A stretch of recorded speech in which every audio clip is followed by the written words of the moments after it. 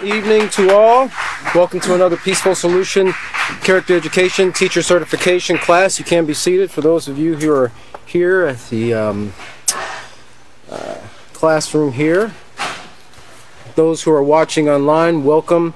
Uh, hopefully uh, you've been able to follow along and and if this is your first time watching, of course you can uh, right there on the uh, Facebook uh, page there, right at the pretty much almost at the very top, you'll see that that uh, respect unit. Uh, that's the unit that we're in. Of course, you can download the PDF and follow right along in your book. It's a teacher's manual because, of course, we are training teachers here. We're training people to be able to show others the right and proper way to conduct themselves. And remember, the character education program that we're covering, the Peaceful Solution, it does that very thing. It's the perfect guide for human interaction because if you look in society now, you can see that we need some help big time, you know, in our society uh, because people aren't interacting in a, in a respectful, peaceful way. That is, they aren't interacting consistently in a way that's respectful and peaceful. Not that there are no people, there, there, there is not anyone in society who tries to do the right thing. There are a lot of people who do strive to, you know, do their best and to show kindness and empathy and compassion and so forth to others. Uh, but for the majority of, of society, uh, it's not that way because of the many things that we've covered from, and of course, if you're just uh, joining us, uh, we've already been through three units prior to this one. This is the fourth unit, which is the respect unit of the intermediate series. And, um, you know, everything that we've covered, we've kind of um, reiterated, built upon from one lesson to another, like uh, it's described the building blocks of moral character, the building blocks of character education. and a lot of the things that you'll hear from lesson to lesson to lesson you know, they're reiterated. And that the purpose of that is not to bore you to death, of course, but is to drive those points home in the mind because it's those key concepts that we want to drive into the hearts and the minds of our students to get them to understand that uh, that these factors, and this is what we covered in the very first unit, in, in the character unit, in the first chapter, um, the six key factors that help to make up one's character. Um, and I'm not gonna because I'll probably forget them right now. But you know, uh, influences is one of them, right? And, and and that's what we see in society on an everyday basis. Not not only in society, in your own home, uh, you know, at work, when you're on the road, uh, travel tra- traveling back and forth to work or traveling back and forth to school.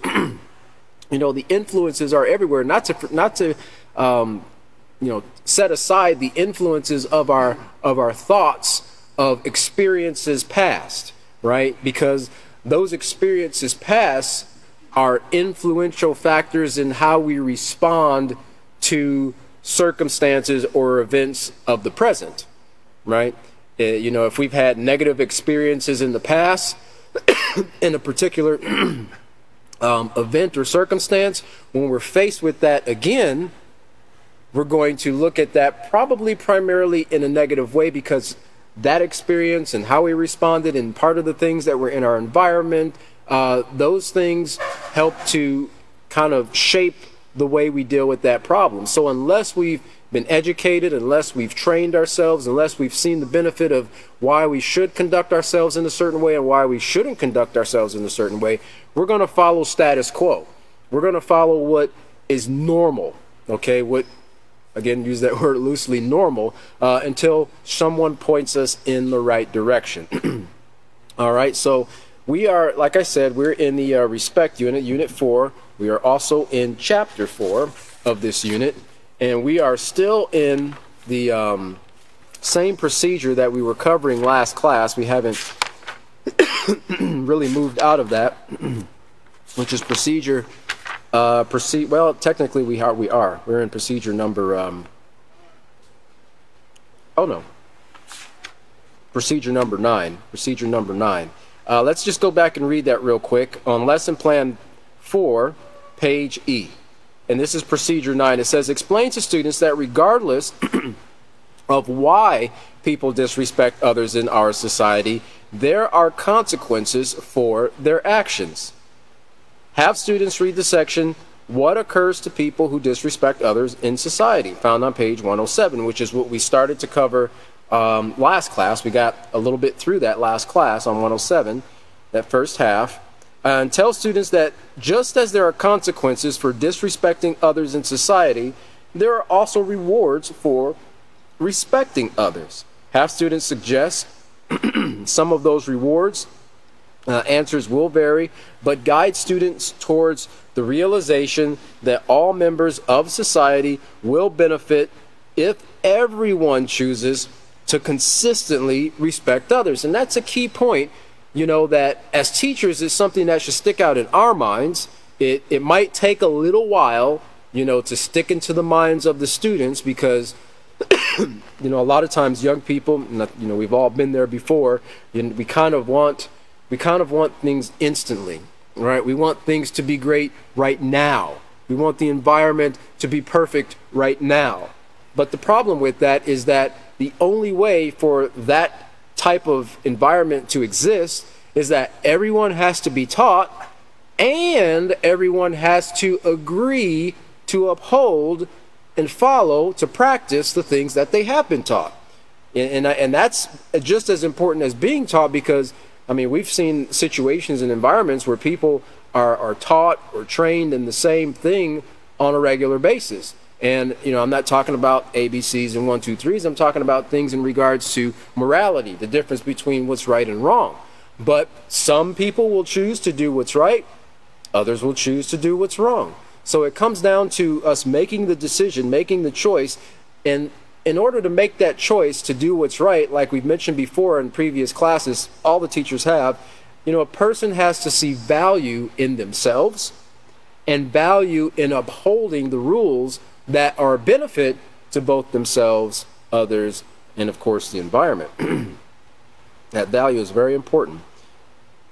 So it says uh, answers will vary, but guide students towards the realization that all members of society will benefit if everyone chooses to consistently respect others. Have students read the section R is for the rewards of respect on page 108 in their handbooks. All right, and so that's procedure number nine. Procedure number 10 is on the next page. So let's go back to 107 there. And we're going to just, uh, just kind of do just a tiny little review to catch up here to where we're going to get started in the uh, lesson for today. so, of course, this is Respect, Unit 4, Chapter 4, uh, Respect and Society.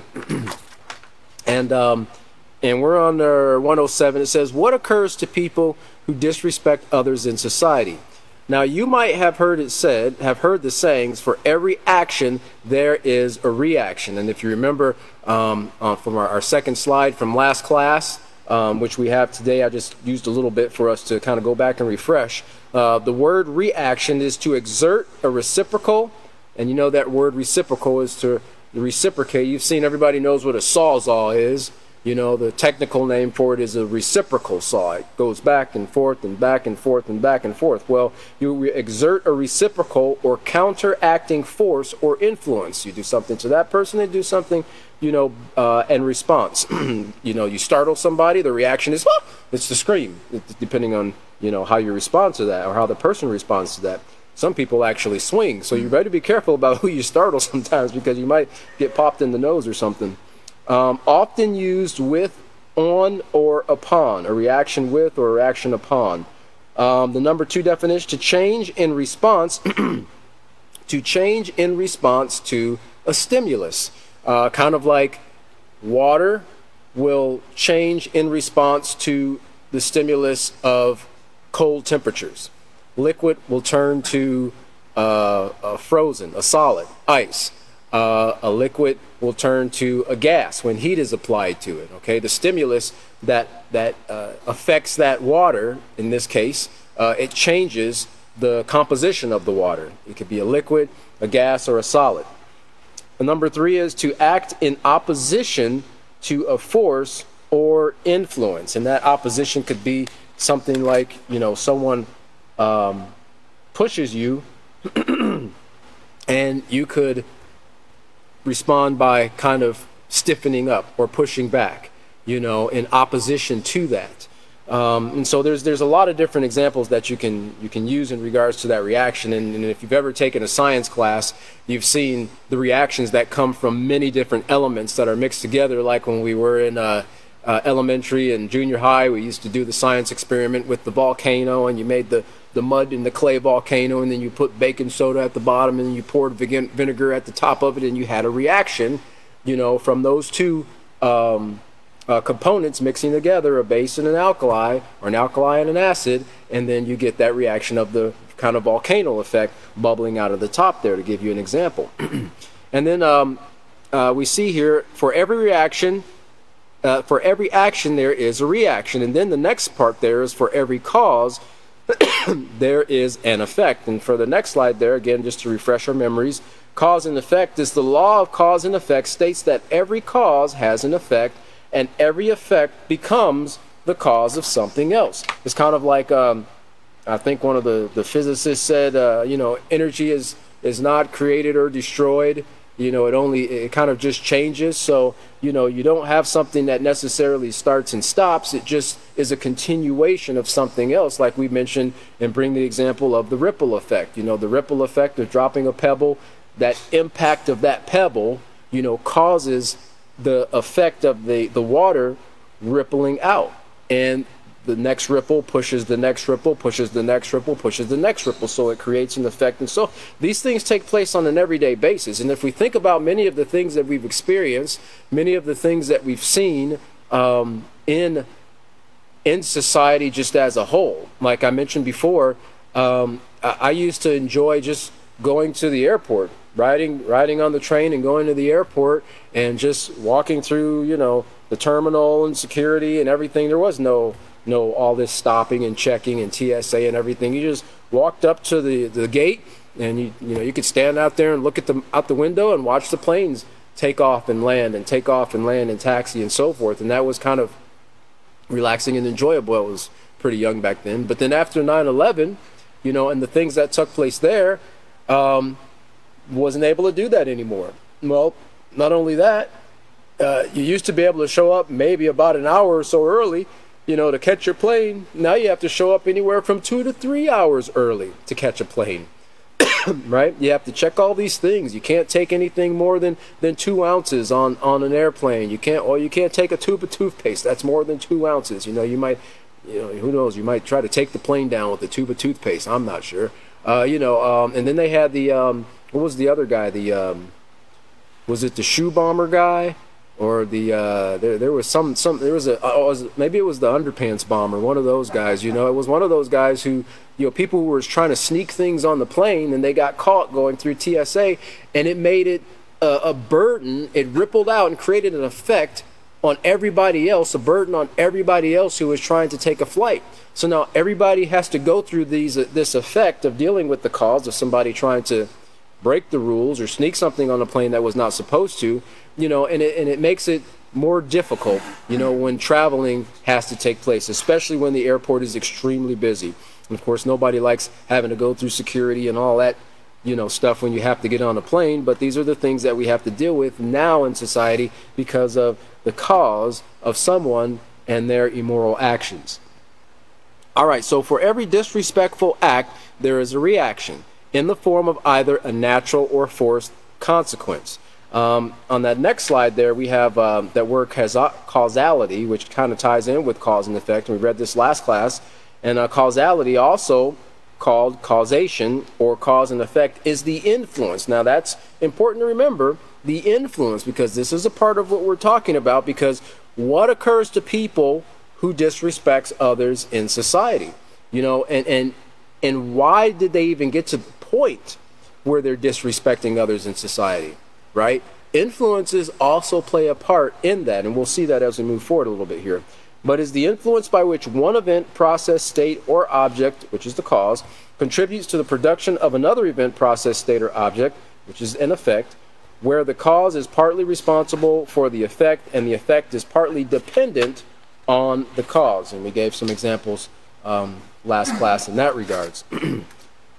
All right, so you have so you have a natural or forced consequence.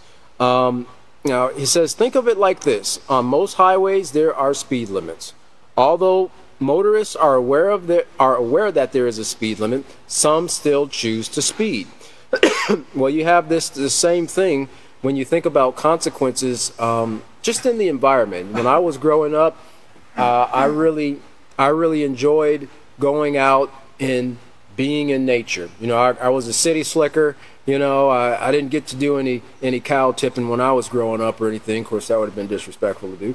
But um, you know, we didn't even have cows in the city just walking around. Um, uh, uh, we had just it was like a concrete jungle. So when I had the opportunity to go into the forest and camp, you know, hike until we used to went out to the Allegheny National Forest in Pennsylvania usually. Um, I took advantage of it because I just really, really enjoyed nature. And one of the things that we were learned that we were taught as we every time we went and, and went camping was always leave it cleaner than you left it. Right? You know, don't don't leave a trace that you were there. You know, that is a bring something from outside cans or trash or whatever and, and leave it behind you. No, clean up after yourself. In fact, even if you see something that's not supposed to be there, clean it. You know, don't just leave it there because that's not a part of nature. And many animals and so forth suffer as a result of trash that's left behind by mankind. Well, when we went out camping, you know, we enjoyed uh, gathering, clearing out a, a space to camp, and you know, gathering sticks and and stones to we to, to lay around to make a campfire, you know, and gathering the kindling and the tinder and the, the wood to burn. And, you know, it was always a, Uh, a challenge to see who can actually start a fire with only one match, right? And it didn't count if the wind blew it out. But, but that, was, that was the challenge. Those were the things were, that we enjoyed. But also, we were taught that when we were finished with a campsite, one of the things we had to do was to make sure that that campfire or that pit was completely extinguished, right? Because there is no, there are no fire extinguishers hanging on the trees out in the forest. And in a lot of cases, you're not always next to a source of water. Well, if we look at that next example there under natural consequences, um, you know, we see that on the uh, next slide there. um, you've got off to the left, you have a, a camper. Um, with their tent and a campfire. Now, to me, it doesn't look like anybody's attending that fire. And they might have actually put the fire out because you know how fires are. You know, all you need is heat, a little bit of oxygen, and something to, to ignite it.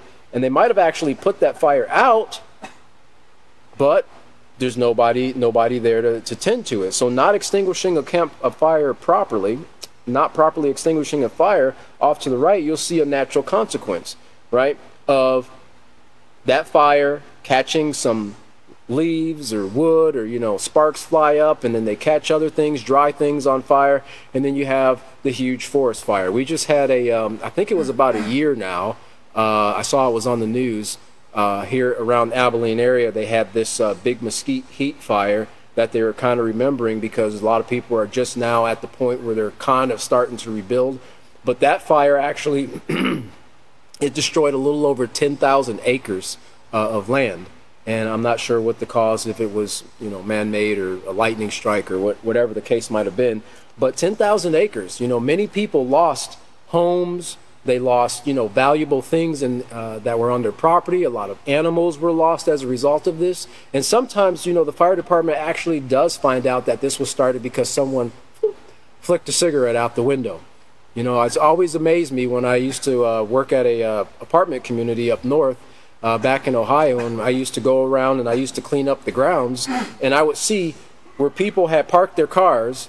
They would open their door and they would dump the ashtray in the parking lot, and then put the clean ashtray back in the car. Or they would walk out of the apartment all the way to the dumpster, and then set the trash bag in front of the dumpster. you know, uh, it, it, never it never ceased to amaze me how you know mentally and physically lazy people are, but also how they don't take into consideration how that it just you know makes the environment look unappealing, right? Those things actually, when it rains, it can wash into the storm drains. Those things into, end up in the rivers. They end up in the in the lakes and the streams and the oceans. You know, the animals have to deal with them somehow. You know, and these are the things that we talked about in the self-control unit and dealing about in, in regards to dealing with these things in the environment when self-control is in practice. Well, when disrespect is not practiced, it's the, it's the same thing. All right? So we see here um, in the next paragraph, if a driver loses control of his car and crashes, this becomes a natural consequence, like the example of somebody not taking care of their campfire and seeing to it that it's extinguished properly before they go to bed or before they go hiking or before they leave the campground. The natural consequence can be that that fire, that forest fire is getting started. So this becomes a natural consequence of driving too fast. If, on the other hand, the driver is pulled over by the police and is issued a speeding ticket, this becomes a forced consequence. Now you can see on the next slide there the um, the the reckless driving. You know, the guy and the weaving in and out of the vehicle there, recklessly driving. Uh, you know, they, it's it's associated very commonly with road rage. Um, you know, people. I saw in fact when I was coming to class, I saw someone driving behind someone. Literally, it seemed like less than the car's length behind them. And I, it, was, it was interesting because when I looked at the driver as I was going by, they looked like they were a little bit stressed out, you know, because you never know if that person's going to see your tail lights when you stop. And if they don't, well, there you go. You know, they, they, they ram into you. And it doesn't matter if you have insurance or not. Now you got to deal with the inconvenience of, you know, making a police report, getting your car fixed, getting this person's insurance. You know, that's if they have insurance. That's if they stay at the scene of the crime. You know, a lot of people just leave because they don't want it. They don't have financial responsibility. Well, if a person is recklessly driving like that on over to the right there, you see the things that can take place with the police officer in the background. Uh, they can lose their license, they can get tickets, or they can even go to jail. You know, if the crime is serious enough, if the speeding or the or the effect uh, that they have as a result of failing to control their vehicle is enough, many people have lost their lives as a result of somebody recklessly driving you know, failing to control their vehicle because it was fun or because they were intoxicated or because they were trying to show off. Okay? So we have to be mindful of these. You know, driving is actually a privilege. You know, it's not a right, it's a privilege that you earn by showing that you'll follow the rules of the road. All right. So of course that is a that's a forced consequence if a person gets a ticket or if they get their license taken away or if they're placed in jail you know, uh, or have to have a bond. Uh, the, there's these bonds, SR22 or whatever bonds that you have to get sometimes uh, to get your license back or until you can.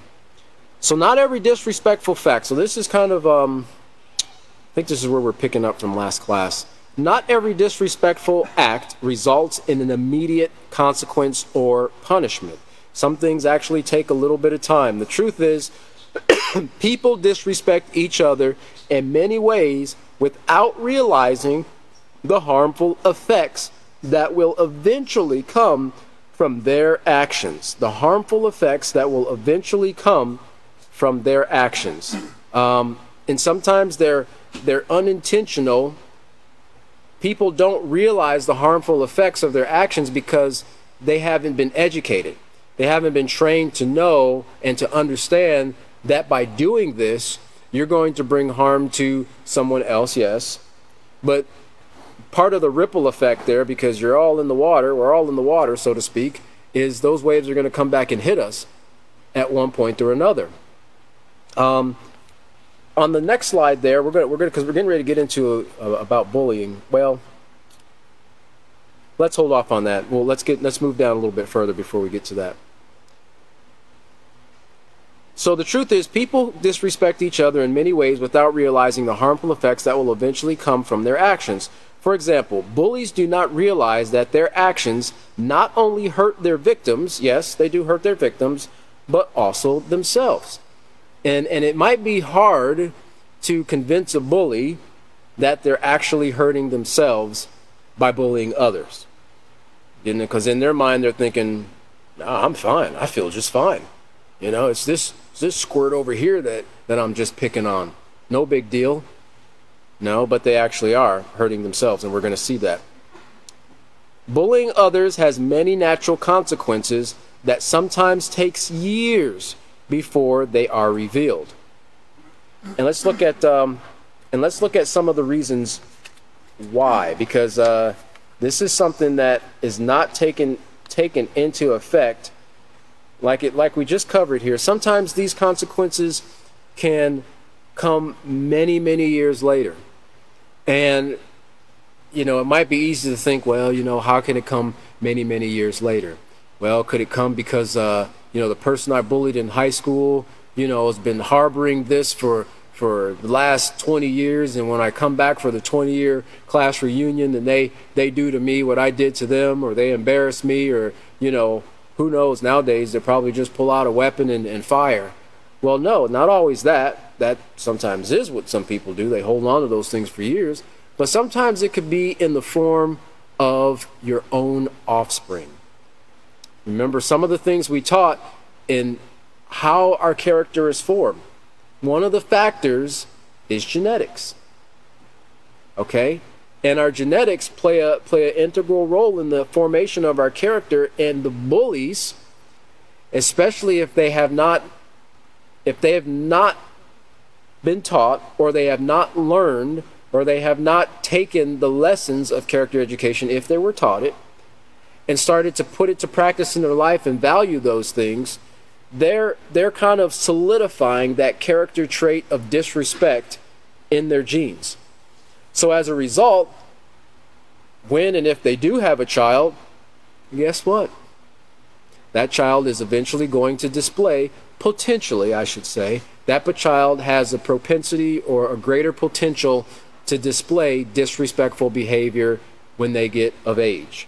And, it, you know, it could be to other people, which causes uh, maybe a burden on the on the, the parent or others in the environment. You know, a child that they call a, a trouble or a problem child in school or at daycare. You know, they're always picking on others or pushing people off the slide or hitting people or stealing people's you know drinks or, or snacks and things of that nature. Or it could be the disrespect that the child shows towards the parent. Right? And the parent who was one time a bully might think, yeah, but that was years ago. That was years ago. I, I haven't bullied anybody for the last 15 or 20 years. It's already in the genes, right? And you haven't done anything to change it. And even if you have done something to change it, well, the only way you're going to kind of superimpose or, you know, suppress that trait in your child's gene is to start teaching them character education as soon as you possibly can, right? Because we all come from different backgrounds. Many of us were probably bullies. Many of us have probably been bullied, okay, or both. And so we kind of have to deal with a lot of the things uh, coming forth in our children that we ourselves did when we were younger. And so the only way we can deal with it is to educate, is to teach, is to be patient, right? Because it's not an overnight thing to get rid of those characteristics, those traits. So let's look at um, the next slide there, and this is from the acceptance unit, page 72. Just kind of get a little bit of an idea of, of um, um, bullying. It's under bullying is bad news. It says, Did you know that there are some people who actually take pleasure in hurting others? And I've seen this before in life, and it's really distressing when you see people who, you know, they, they take pleasure in seeing other people suffer. You know, instead of taking pleasure in seeing other people uh, have joy right? You know, personally, I like to see people enjoy themselves. I like to see people, you know, uh, have a great time, right? Uh, especially when they when they when they grasp hold of something you're trying to teach them, whether it's out of the peaceful solution, whether it's a lesson they're learning, like in math or something. Uh, when they finally grasp that and that light comes on, they're like, "Oh, you know, that's that's really joyous for a teacher." But it says here, uh, they have yet to learn the peaceful solution. Okay, they actually take pleasure in hurting others, um, and they have yet to learn the peaceful solution. Now, we're still on the slide there on page 72 of the acceptance unit, uh, which means showing respect for one another and having healthy interactions to build lasting friendships. Instead, notice here, they steal the rights of others to be safe and rob people of the opportunity to make friends. So this is not just robbing, like taking their money or taking, uh, you know, a possession from a, a house or, or anything like that. You can actually rob people of the opportunity to make friends. Well, these are called bullies. It is common knowledge that bullying is a problem in schools today. And as we'll see here as we move forward, it's not just the schools. If you are a bully, think about your actions. Choosing to belittle or hurt others for fun or just because you can is cruel. Cruel. C R U E L, not cool. Picking on, teasing, and physically assaulting someone can affect him or her for life. Guess who else it will affect? Now, this is what we're talking about because this is some of the things we're covering here, or what we just talked about here on page 107 in the uh, respect unit. Guess who else it will affect? You. Studies done, done on adults who bullied others as children prove that they regretted and were ashamed of their actions. Many of them long to go back in time and change the way they treated others. Now, sadly, you know, it, it sometimes it takes it takes people sometimes, sometimes years, before they realize how their behavior negatively impacted others. Um, sometimes it doesn't hit them until somebody in their school uh, actually uh, takes their own life. And that's a real big problem, you know, uh, suicide of young people and suicide of adults as well, you know, and taking their lives because they've been hammered on and devalued and just pushed down, you know, so much in life. And, and, and in some of these cases, some people, you might think, well, you know, it can't be all that bad. Some people are really never, ever built up, right? They have a dysfunctional family. They don't really have anyone to reach out to. Sometimes they reach out to the guidance counselors and they're doing their best. But the guidance counselors has that one student and they've got another three or four hundred other students that they're responsible for.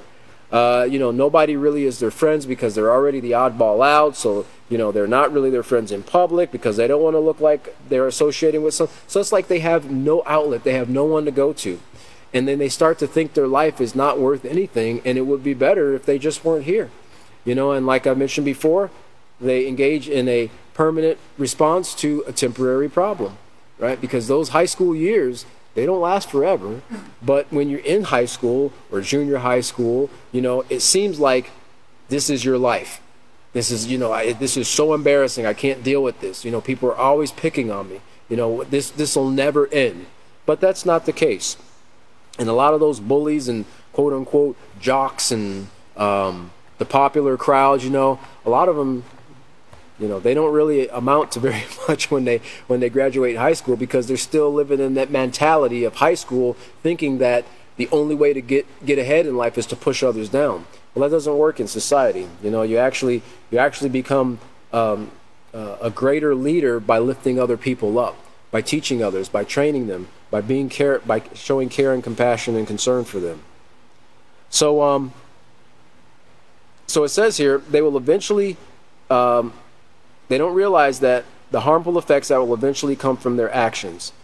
For example, bullies do not realize that their actions not only hurt their victims but also themselves. Bullying others has many natural consequences that sometimes takes years before they're revealed, and that's one of the things that I mentioned to you.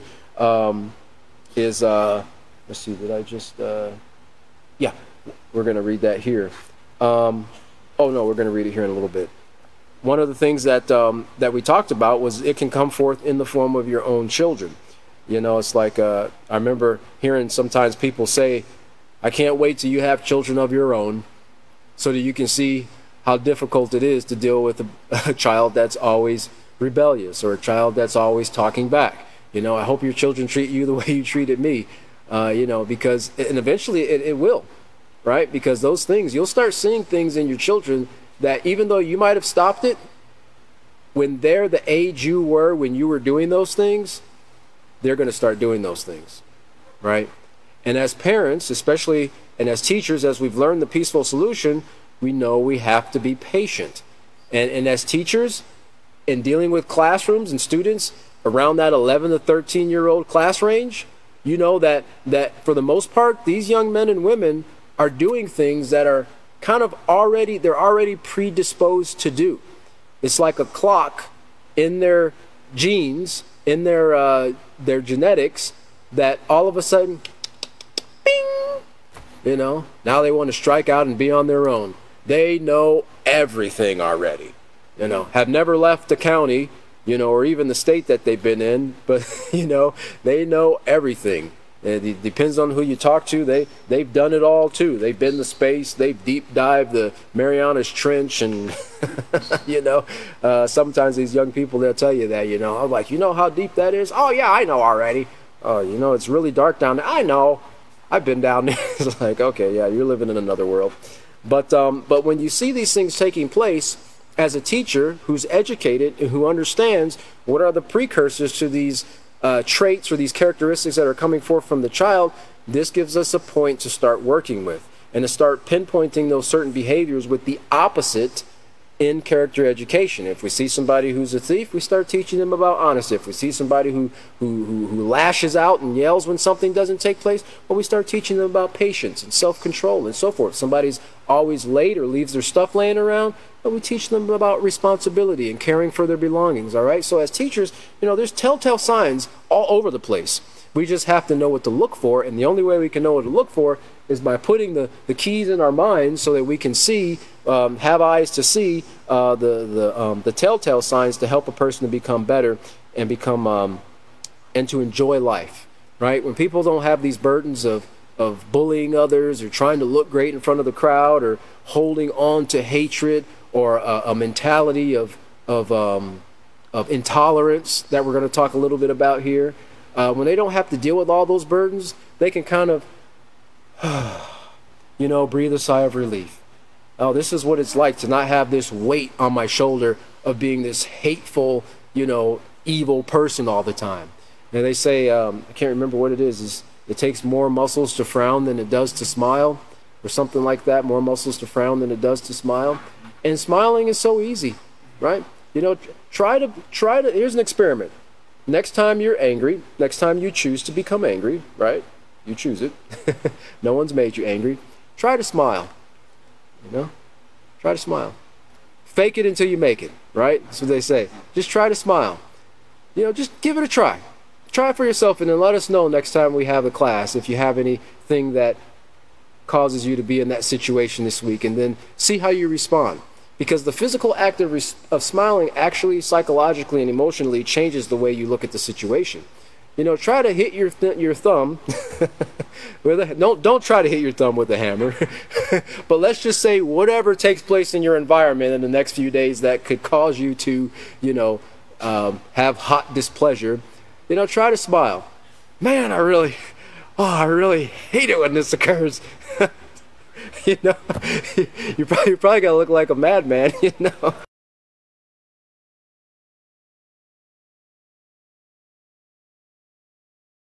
you know, gone over, you know, so many times in, in these books, the, the power of our, of our minds, both our conscious and our subconscious mind. You, a lot of times we, we victimize ourselves by our circumstances. No, we have control over a lot. Now, don't get me wrong, we understand there's a lot that we don't have control over, and that's what we went over in, in the acceptance units. You know, accepting things you don't have control over, yes, but taking the things that you do have control over and using them to your advantage. You know, making the best out of this situation, accentuating the positive and eliminating the negative. And if we would take this this brain, this storehouse of knowledge, and then get control of our heart, where we our emotions and our decisions come from, and use the things we've been taught in the peaceful solution to make solid, moral, you know, grounded decisions, man, we'll have a much better day. Just just leaving the house and saying, no, today is going to be an awesome day. Just, just saying something like that can actually set your day off in a positive direction, as opposed to, ah, dang it, I gotta go to work again. All right, well, hopefully I can have to deal with this person and their jibber jabber and this thing and this and this is probably gonna break down and you know, you kind of create that you, and a lot of times that's what occurs. You know, you're expecting that, and that's what occurs. You kind of draw that stuff onto yourself. Let me move on here. Let's look at our next slide here because here's some more of the effects of bullying here. Um, bullying and its effects. It says children who bully and are and are also bullied.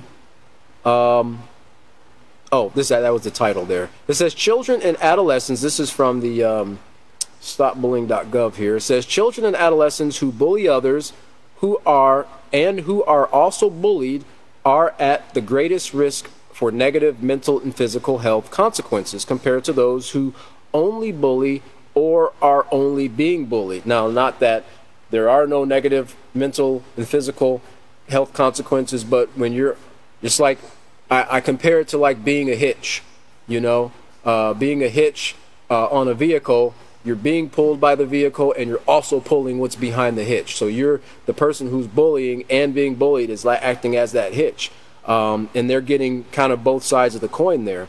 But they have actually a greater risk for negative mental and physical health consequences compared to the others. It says these children and adolescents might experience a combination of psychological problems, negative perceptions of themselves. Remember, we talked a little bit about self-concept in the in the uh, self-control unit, right? How we see ourselves and the world around us, or ourselves in comparison to the world around us. Um, negative perception of themselves and others, uh, poor social skills, conduct problems, how they act, and rejection by their peer group because of, again, cause and effect. They think a certain way, so they act a certain way, so people respond to them in a certain way. Thereby, it continues to exacerbate the problem, and they kind of tend to spiral downhill more and more and more until someone reaches out and helps them by training them, teaching them, and guiding them in the peaceful solution, seeing the value in them so that they can see it in themselves. Now, compared with non involved peers, those who have bullied others and have also been bullied have been found to be at an increased risk for serious mental illness, be at a, a high risk for thinking about and attempting suicide, and demonstrate heightened aggression. Heightened aggression. All right? And so if we take that, take that and compare that with the um, information in the character unit on lesson plan 2, page A, under starts in the home under our next slide there it says at the very beginning it says this this second chapter takes a unique approach to character development in that it not only teaches about the impact of family in the development of character. And so remember what we talked about? You know sometimes we can actually pass these things on to our children uh, through our genetics but also through how we interact in our child's environment as they're growing up. Because that's also a form of teaching how we choose to interact with our children, um, with our with our spouses, and so forth, or others in their presence. It teaches about the impact of family in the development of character, but also informs students about the differences between a dysfunctional and healthy family. This is an important distinction to teach our children uh, because so many children have been traumatized for so long. They are unaware of what a normal, healthy family should consist of. Without this knowledge, they are more likely to repeat. Now, notice here, because of how they were raised, what was in their environment, because of them not being trained, not being educated, not experiencing or knowing what a normal, healthy family should consist of, they are more likely to repeat the same abuses to their children when they become parents.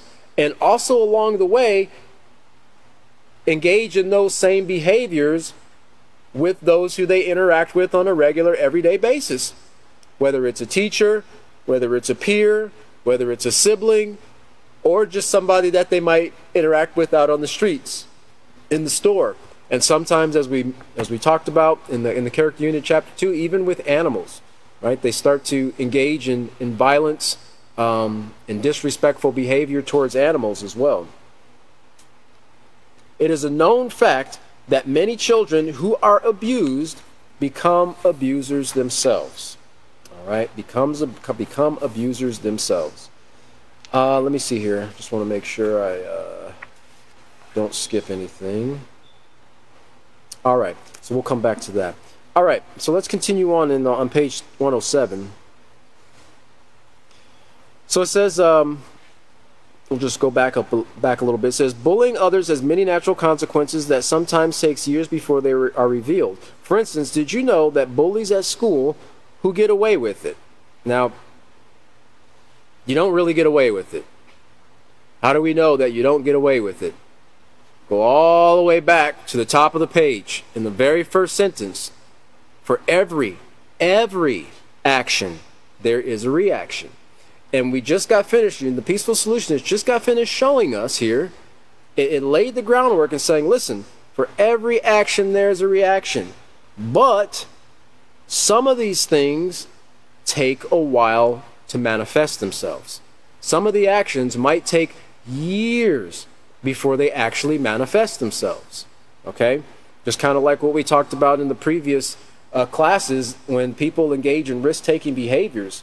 And some of the STDs that a person can get in their youth can actually hide in the body and manifest itself 20, 30 years later in the brain, uh, in the eyes, uh, in the muscles and the joints of the individual.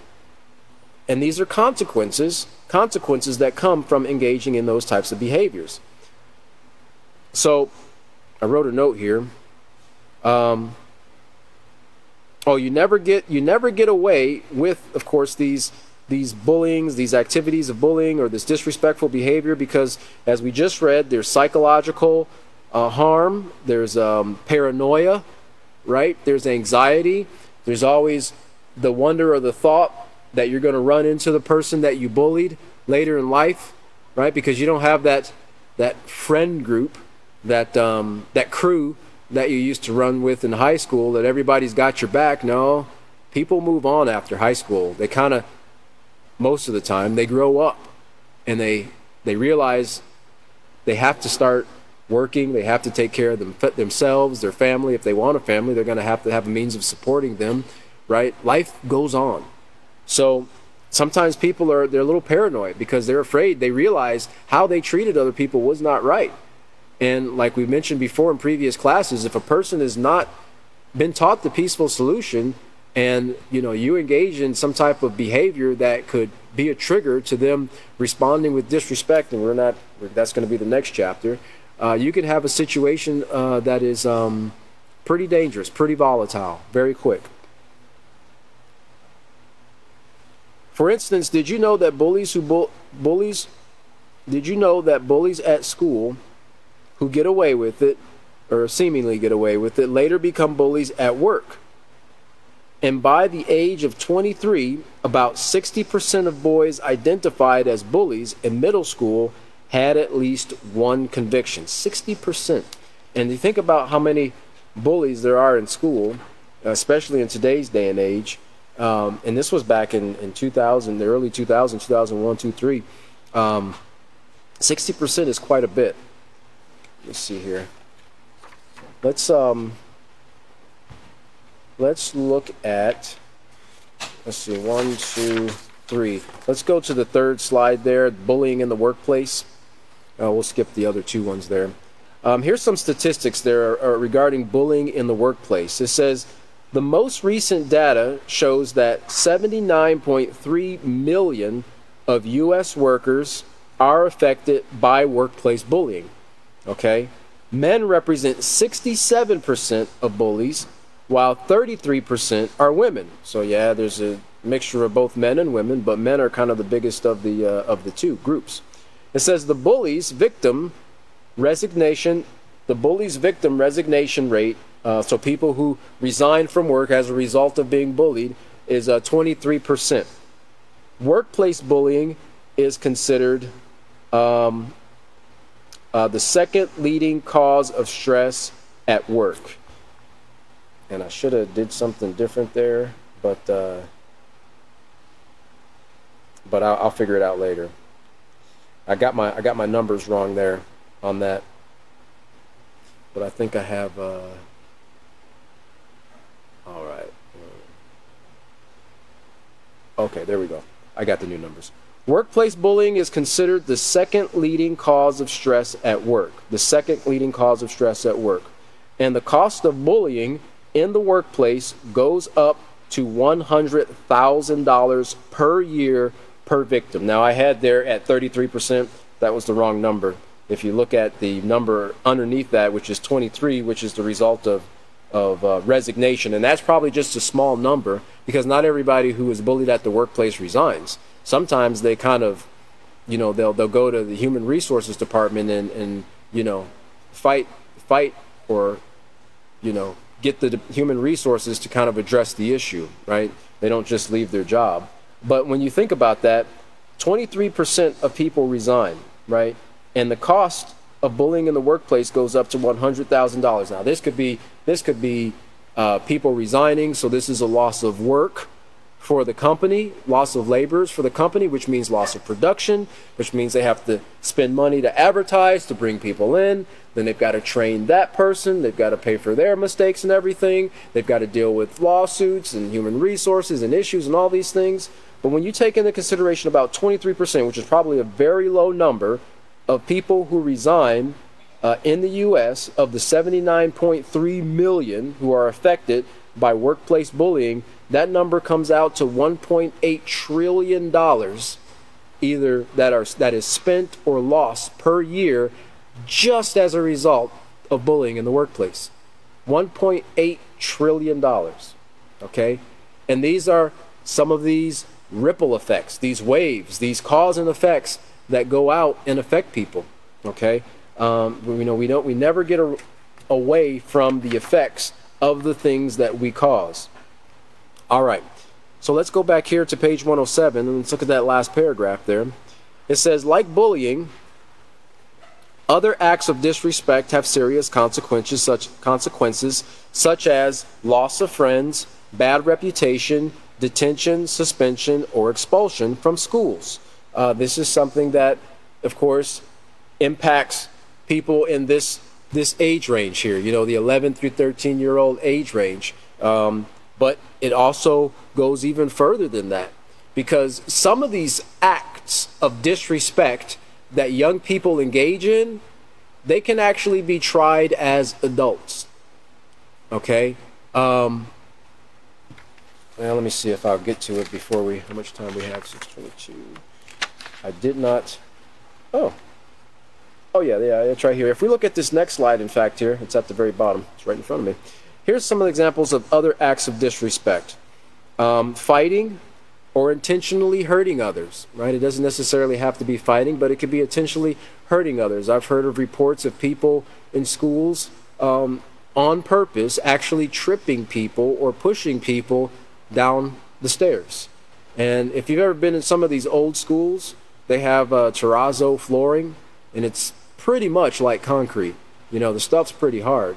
And, and, people have gotten seriously injured as a result of those things, okay? So it's not always necessarily fighting, it could just be intentionally doing things to cause harm to other people. Theft is another thing. And depending on the type of crime or the value of the thing that was stolen, can determine what type of uh, consequence that a person has. Uh, sexual harassment or, or even rape, which is the, one of the greatest forms of disrespect. You know these things, and I'm not I'm not just talking about um, in, in the workplace. These are things that both take place in the workplace and at school. This is the these are real uh, situations that our young men and women are having to deal with on a, on an everyday basis. In junior high, yeah, high school, yeah, and sadly, probably even elementary school.